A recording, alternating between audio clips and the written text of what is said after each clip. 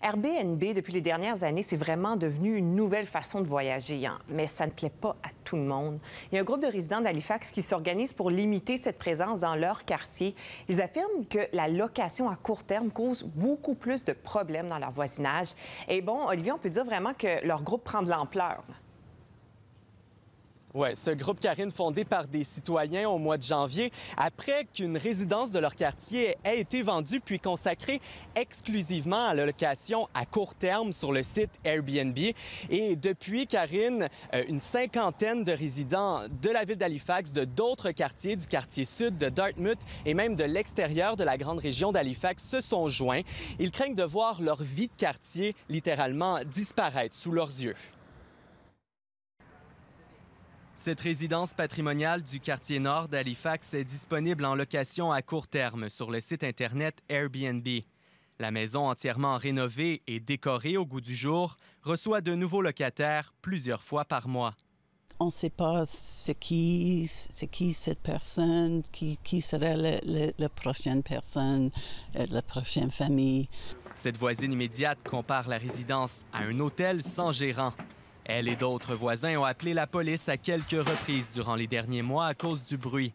Elle craint pour sa sécurité et pour sa vie privée depuis l'installation par le propriétaire d'une sonnette équipée d'une caméra. Moi, je loue, une chambre dans ma maison, euh, mais c'est tout, c'est long terme. C'est pas, pour moi, c'est pas la même chose. Et j'habite dans la maison. C'est le fait que l'homme, il n'habite pas ici. Il, il n'habite pas à Halifax. Elle voudrait voir instaurer une loi pour interdire aux propriétaires de louer leur résidence quand ils sont absents. L'entreprise AirDNA compile des statistiques sur la location à court terme. Il existe près de 1800 Airbnb dans la région d'Halifax. Les trois quarts sont des résidences complètes et un tiers sont disponibles à temps plein. Ce sont ces résidences qui dérangent les membres de l'association Neighbors Speak Up. They should be considered as a business elles devraient, dit-il, être considérées comme des entreprises. Elles devraient être taxées à un taux commercial et interdites dans les zones résidentielles. Pour tenter de convaincre les décideurs, le porte-parole du groupe citoyen doit faire une présentation à une rencontre municipale mardi soir. La municipalité régionale d'Halifax et le gouvernement de la Nouvelle-Écosse envisagent tous deux de nouvelles règles pour la location à court terme. La première étape pour la province sera de mettre en place un registre pour mieux surveiller la pratique mais ce ne sera pas fait avant l'an prochain.